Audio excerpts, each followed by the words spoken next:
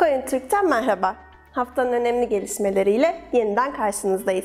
Kripto para dünyası ve blockchain ekosistemi ile ilgili en güncel haberlere sitemiz CoinTürk'ten ulaşabilirsiniz. Paylaşımlarımızla ilgili yorumlarınızı bekliyoruz. Çünkü bu yorumlar bizim için çok değerli. Hadi geçtiğimiz hafta neler olmuş bir bakalım. Bitcoin bu saatten sonra 25 bin doları görebilir mi? Tom Lee yaşanan ayı sezonuna rağmen metanetini korudu ve defalarca Bitcoin'in 25 bin dolara ulaşabileceğini söyledi.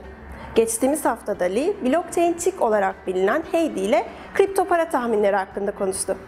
Heidi'ye dip yaklaştığında yatırımcı psikolojisinin %100 ihtimali negatife vermek olduğunu aktaran Lee, ayı tahminlerinin arttığı gerçeğiyle Bitcoin'in sert bir şekilde yukarı doğru hareket etmesinin yüksek ihtimal olduğunu söyledi. Dünyanın ilk Ripple tabanlı borsası açıldı.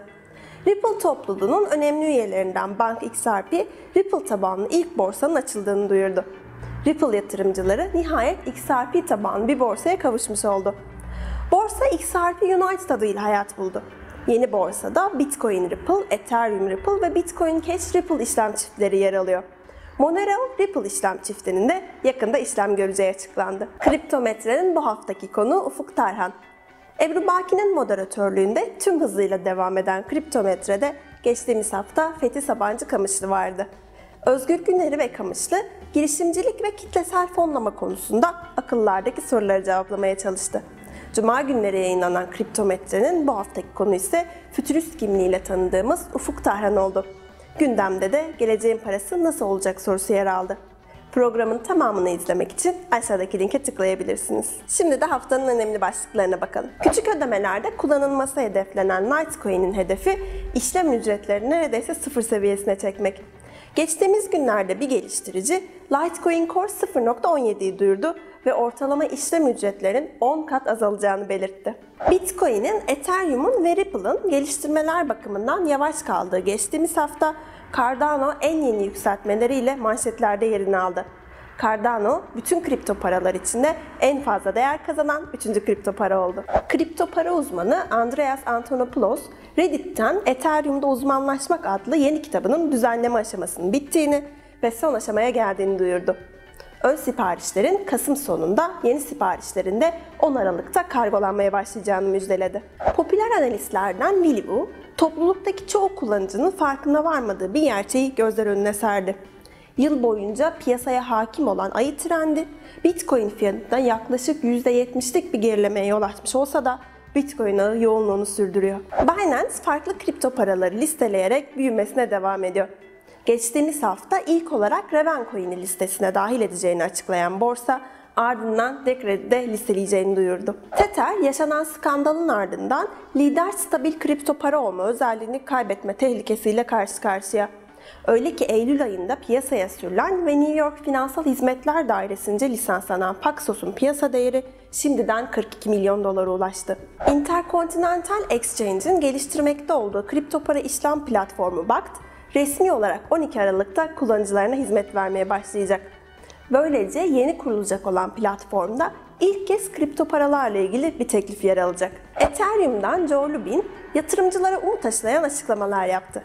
Lubin, kripto para piyasasının uçurumun kenarında olmadığını belirtti ve piyasanın hiç bu kadar güçlü olmadığını ekledi. Goldman Sachs destekli kripto para startup Circle'ın CEO'su G20 ülkelerinin kripto para düzenlemelerinde birlik olması gerektiğini ifade etti. CEO, kripto para düzenlemelerinin uluslararası standarda kavuşmasını istiyor. Dünyanın en büyük kripto para borsalarından Coinbase, geçtiğimiz hafta yaptığı açıklamayla çiçeği burnunda stabil kripto para USD Coin'i listelediğini duyurdu. USD Coin, Coinbase tarafından listelenen ilk stabil kripto para birimi oldu. Market and Markets, kripto para piyasası hakkında yeni bir rapor yayınladı. Rapora göre 2024'e kadar kripto paralar 1.4 milyar dolar değerinde olacak. Piyasa bu değere doğru yol alırken yıllık bileşik büyüme oranı %6.18 olacak. Coinbase ekosisteme büyük ölçüde fayda sağlayabilecek bir şeyi başardı. Borsa geçtiğimiz günlerde New Yorklu yetkililerden kripto para muhafaza etmek için onay aldı. Borsanın muhafaza işi için bir şirket kurması bekleniyor. HTC, Exodus'u resmen piyasaya sürüyor. Şirket 23 Ekim'de yaptığı duyuruyla ön satışın başladığını müşterilerine duyurdu. Blockchain destekli üretilen telefonun öne çıkan özelliklerinden biri de kripto paralarla satın alınabilecek olması. NEM Vakfı, Birleşik Arap Emirlikleri'nin Toplumsal Kalkınma Bakanlığı ile işbirliği anlaşması imzaladı. NEM Vakfı anlaşma kapsamında Toplumsal Kalkınma Bakanlığı'nın blockchain danışmanlığı görevini üstlenecek. Yeniliklerin ülkesi Japonya aldığı yeni kararla piyasanın öncüsü olduğunu bir kere daha kanıtladı. Japonya'nın finansal düzenleyicisi Finansal Hizmetler Ajansı, kripto para sektörünü kendi başına bırakmaya karar verdi. Tether tokenlarını basan Tether Limited şirketi 500 milyon USDT dolaşımdan çıkardı. Blockchain verileri şirketin 500 milyon USDT'yi token'ın hazine adresinden başka bir adrese transfer ettiğini ortaya koydu. Merkezsiz tahmin piyasası Agur'da bahis için kullanılan toplam değer tüm zamanların en yüksek seviyesine ulaştı. Agur bahisleri toplamda 1.4 milyon doları aştı. Sony, kripto para cüzdanı güvenliğini bir seviyeye çıkarıyor. Japon teknoloji devi Sony'nin araştırma kolu temassız donanım cüzdanı geliştirdiğini duyurdu. Stellar blockchain'inde Avustralya doları tarafından desteklenen bir sabit coin geliştirildi. Novatti grubun geliştirdiği coin, tıpkı diğer sabit coinler gibi itibarı bir paranın değerini referans alacak. Haftanın önemli gelişmelerini aktardık. İçeriklerimizin devam etmesini istiyorsanız beğenmeyi ve abone olmayı unutmayın. Görüşmek üzere. CoinTürk'ü takip etmeye devam edin.